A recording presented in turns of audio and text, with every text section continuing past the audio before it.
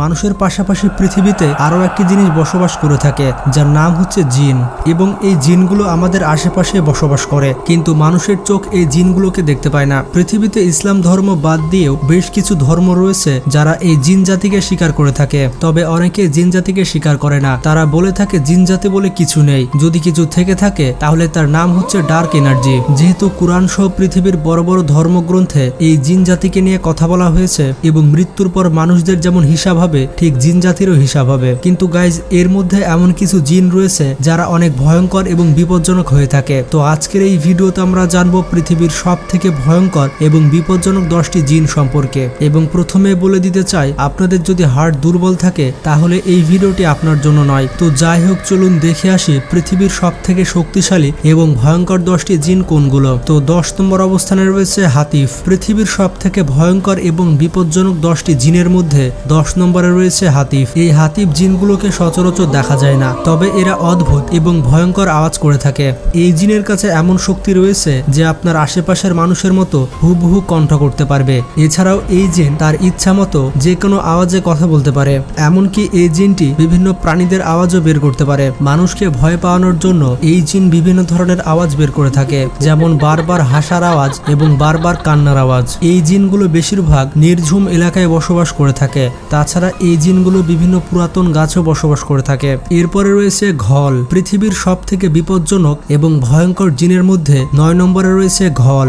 এটি জিন জাতিদের মধ্যে এমন একটি জাতি যারা বেশিরভাগ কবরস্থানে থাকতে পছন্দ করে এবং বলা হয়ে থাকে কবরস্থান থেকে মানুষদের মাংস এবং হাড্ডি বের করে খেতে থাকে এই জিন জাতি। এই জিন জাতিকে সেই সকল কবরস্থানে পাওয়া যায় যেগুলো অনেক পুরাতন এবং যেখানে সচরাচর মানুষজন যাতায়াত করে না। রাতের বেলায় যারা একা একা কবরস্থান দিয়ে যায় তাদেরকে অ্যাটাক করে থাকে এই জিনগুলো। এই জিনগুলো বিভিন্ন রূপ ধারণ করতে পারে, যেমন মানুষের রূপ কিংবা কুকুরের রূপ। তাছাড়া এই জিনগুলো বিভিন্ন মহিলার রূপ এবং শিশুদের রূপ নিয়ে থাকে। এই জিন জাতিগুলো অনেক বিপজ্জনক এবং অনেক শয়তান হয়ে থাকে। এরপর আট নম্বরে রয়েছে সালাত। পৃথিবীর সব থেকে বিপজ্জনক এবং ভয়ঙ্কর জিনের মধ্যে এটি হচ্ছে অন্যতম। এই জিনগুলো মহিলা জিন হয়ে থাকে, যারা অনেক বিপজ্জনক। এই জিনগুলো খুব দ্রুতই তাদের রূপ চেঞ্জ করতে পারে। বিশেষ করে সুন্দরী মেয়েদের রূপ খুব তাড়াতাড়ি ধারণ করতে পারে। এছাড়া এই জিনগুলো মানুষকে খুব তাড়াতাড়ি বসে আনতে পারে।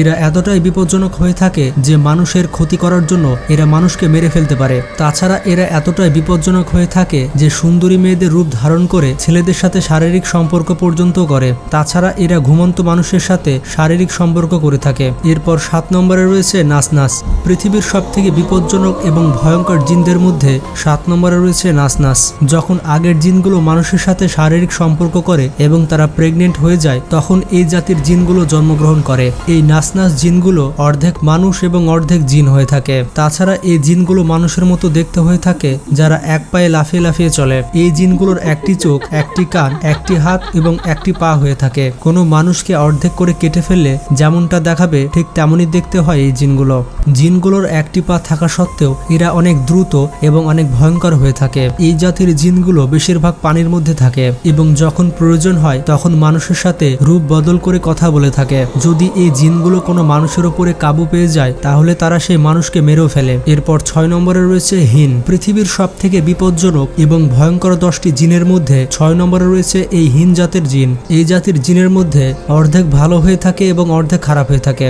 যখন জিনদের বিরুদ্ধে আল্লাহ ফেরেস্তাদের যুদ্ধ করতে পাঠিয়েছিলেন, তখন এই জাতির জিনগুলো ফেরেস্তাদের সহায়তা করেছিল। এই জাতির জিনের মধ্যে যারা খারাপ হয়ে থাকে, তারা ইবলিসের সাথ দিয়েছিল এবং তারা বর্তমানে ইবলিসের সাথী। পাঁচ নম্বর অবস্থানে রয়েছে মারিদ। পৃথিবীর সব থেকে ভয়ঙ্কর এবং বিপজ্জনক জিনের মধ্যে পাঁচ নম্বরে রয়েছে মারিদ। এরা এতটাই বিপজ্জনক হয়ে থাকে যে আপনারা চিন্তা ভাবনা করতে পারবেন না। যত ধরনের খারাপ কাজ রয়েছে, সব খারাপ কাজ করে থাকে এই জিনগুলো। এই জাতির জিনগুলোর মধ্যে বেশিরভাগ জিনই অমুসলিম হয়ে থাকে। তারা কোনোভাবে আল্লাহকে স্বীকার করে না। এই জাতির জিনগুলোর বয়স অনেক হয়ে থাকে। আপনারা জানলে অবাক হবেন, এই জাতির এক একটি জিনের বয়স এক হাজার বছরেরও বেশি হয়ে থাকে। এছাড়া এই জাতির জিনগুলো মানুষকে অনেক ঘৃণা করে থাকে। তারা মানুষকে সহ্য করতে পারে না। এই জাতির জিনগুলো সুযোগ পেলেই মানুষের ক্ষতি করে থাকে।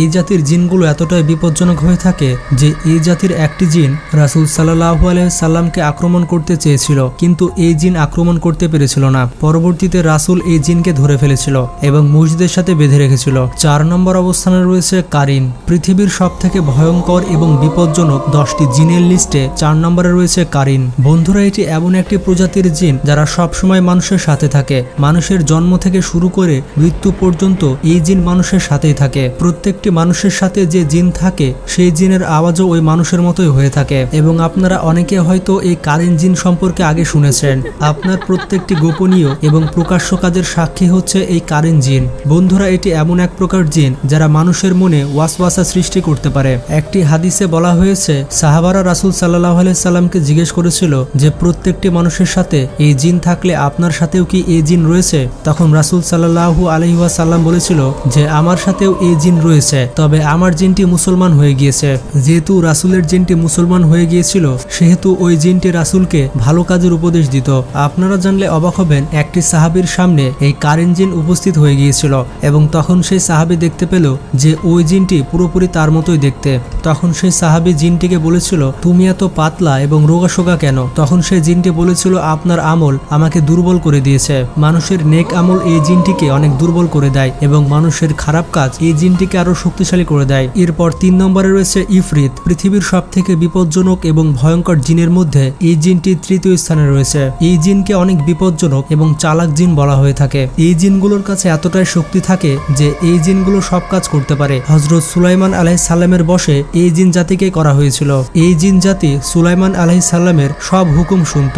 এই জিনগুলো খুব দ্রুত কাজ করার পাশাপাশি খুব দ্রুত চলাফেরা করতে পারে। এই জিনগুলোর দ্বারাই মসজিদুল আকসা তৈরি করা হয়েছিল। এই প্রজাতির জিনগুলো মাটির নিচে বসবাস করে থাকে এবং বেশিরভাগ গরম এলাকা বা মরুভূমিতে বসবাস করে থাকে। তাছাড়া এই প্রজাতির জিনগুলো অনেক আগে আকাশে উড়ে যেতে পারত এবং ফেরেস্তাদের কথাবার্তা কান পেতে শুনত এবং সেই কথাগুলো এসে শয়তানকে বলে দিত।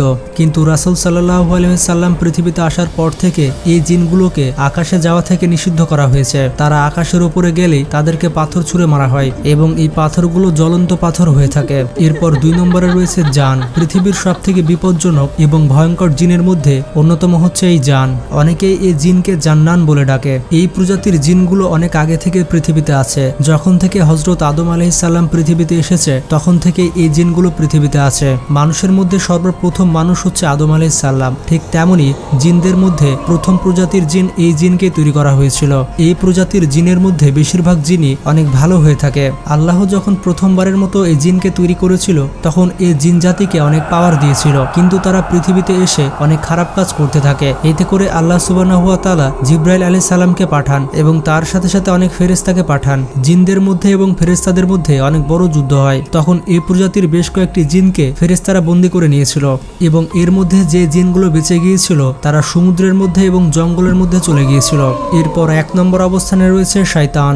বন্ধুরা এই প্রজাতির জিনদের বলা হয় ইজাজিল। ইজাজিলকে বলা হয় জিনদের সর্দার। তবে ইজাজিল প্রথমে ভালো ছিল। কিন্তু যখন ইজাজিল আল্লাহর হুকুম মানেনি এবং আদম আলাহ সাল্লামকে সিজদা করেনি, তখন এই ইজাজিলকে শয়তানের টাইটেল দেওয়া হয়। তখন থেকে ইজাজিলকে শয়তান বলে ডাকা হয় এবং এই জিনকে কোরআনে ডাকা হয়েছে ইবলিস এবং শয়তান নামে। প্রথমে এই জিন এতটাই ভালো ছিল যে জিনদের মধ্যে সব থেকে বেশি ইবাদত করত এই জিন। তার এই ইবাদতের জন্য তাকে ফেরেস্তাদের মধ্যে সামিল করে নেওয়া হয়েছিল। কিন্তু আদম আলাহ সাল্লামকে সিজদা না করার কারণে এবং পৃথিবীতে রাজ করার লোভে তাকে শয়তান করে দেওয়া হয় এবং তাকে এত পাওয়ার দেওয়া হয় যে আপনি চিন্তা ভাবনা করতে পারবেন না। এই কারণে ইবলিসকে পৃথিবীর সব থেকে ভয়ঙ্কর এবং বিপজ্জনক জিন বলা হয়। তাকে এত পাওয়ার দেওয়া হয়েছে যে সে মানুষের রগে রগে ঢুকে মানুষের ক্ষতি সাধন করতে পারে। যখন ইবলিস নাফরমানি করে, তখন তাকে জান্নাত থেকে পৃথিবীতে ফেলে দেওয়া হয় এবং তাকে কিয়ামত পর্যন্ত সময় দেওয়া হয়। কিয়ামত পর্যন্ত ইবলিসের একটি উদ্দেশ্য, সেটি হচ্ছে মানুষকে জাহান নামে নিয়ে যাওয়া। মানুষকে জাহান নামে নিয়ে যাওয়ার জন্য ইবলিস যে কোনো কিছু করতে পারে। তো যাই হোক, আপনারা দেখতে পেলেন পৃথিবীর সব থেকে ভয়ঙ্কর এবং বিপজ্জনক জিনগুলোকে। তো জিন সম্পর্কে আপনার কি মতামত তা কমেন্ট বক্সে জানাবেন এবং ভিডিওটি ভালো লাগলে বন্ধুদের সাথে শেয়ার করতে পারেন। এইরকমই মজাদার সব ভিডিও পেতে আমাদের চ্যানেলটি সাবস্ক্রাইব করে পাশে থাকা বেল আইকনটি ক্লিক করে দিন। ভালো থাকবেন, সুস্থ থাকবেন টেক কেয়ার আল্লাহ হাফিজ।